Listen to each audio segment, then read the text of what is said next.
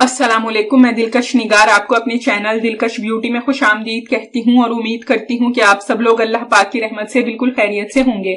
हर इंसान की ख्वाहिश होती है कि वो खूबसूरत नज़र आए। खूबसूरती में गोरी रंगत को काफ़ी अहमियत हासिल है। इसलिए आज मैं आपको एक स्किन वाइटनिंग क्रीम के बारे में बताऊँगी। ये क्रीम किसी भी बड़ी कंपनी की क्रीम की टक्कर की है। ये आपके चेहरे को फेयर एंड ब्राइट बनाएगी, स्किन के दाग धब्बे खत्म करेगी, स्किन को साफ़ शफाफ बना देगी। बहुत ही बेहतरीन रिज़ल्ट मिलेगा ये यूज़ करने से। इससे पहले कि मैं आपको इस अमेजिंग स्किन वाइटिंग क्रीम के बारे में डिटेल से बताऊँ, आप प्लीज़ मेरा चैनल सब्सक्राइब कर लें। नीचे लगे रेड सब्सक्राइब बटन को दबा दें और इसके साथ लगे बेल आइकन को लाजमी प्रेस करें, ताकि आपको मेरी डेली न्यू वीडियो सबसे पहले मिल सके। स्किन वाइटिंग क्रीम को बनाने का तरीका यह है कि आप आधा कप खालिश कच्चा दूध एक साफ़ प्याली में डालें, शीशे या प्लास्टिक की प्याली हो।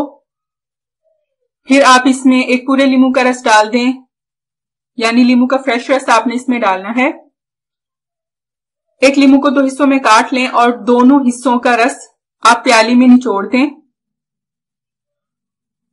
इस तरह से ये रस प्याली में निचोड़ें।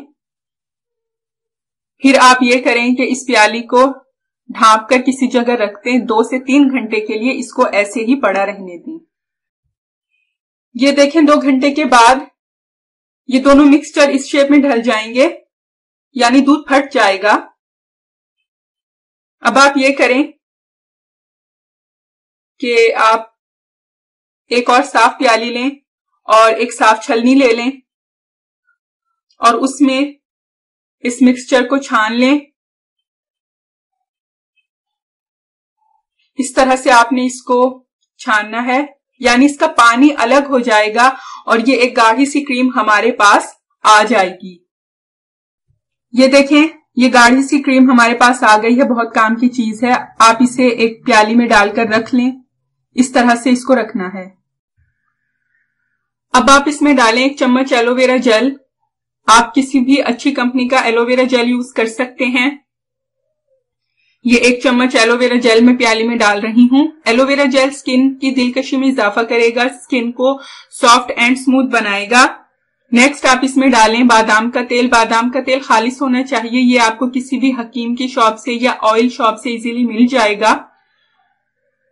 ये आधे छोटे चम्मच से भी कम बादाम का तेल मैं प्याली में डाल रही हूँ। याद रहे कि अगर आपकी स्किन ऑयली है तो आप बादाम का तेल कम यूज़ करें। सिर्फ़ दो से तीन ड्रॉप्स डालें। फिर चम्मच की मदद से इन तमाम इंग्रेडिएंट्स को खूब अच्छी तरह मिक्स कर लें।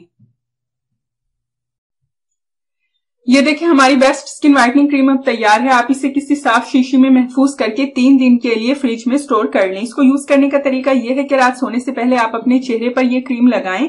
दो मिनट तक मसाज करके क्रीम स्किन में जजब कर लें। पूरी रात क्रीम लगी रहने दें। सुबह आप अपना चेहरा किसी अच्छे ब्यूटी सोप या फेस वॉश से धो लें। इस तरह से आपने हल्के हाथों से मसाज करना है। आप देखेंगे कि आपकी स्किन बहुत साफ़ शफाफ और निखरी निखरी दिखाई देगी। ये क्रीम आप हफ़्ते में दो से तीन बार ज़रूर यूज़ करें आपको बेहतरीन रिज़ल्ट मिलेगा। आपको कोई और क्रीम यूज़ करने की ज़रूरत नहीं रहेगी। सो so, अगर आपको मेरी आज की ये वीडियो पसंद आई हो तो इसको लाइक और अपने तमाम फ्रेंड्स जानने वालों और रिश्तेदारों के साथ लाजमी शेयर कीजिएगा ताकि वो भी ये क्रीम यूज़ करके अपनी सामली रंगत को गोरी बना सके। नेक्स्ट वीडियो तक के लिए मुझे इजाज़त है अपना बहुत सारा ख्याल रखिएगा। अल्लाह हाफिज।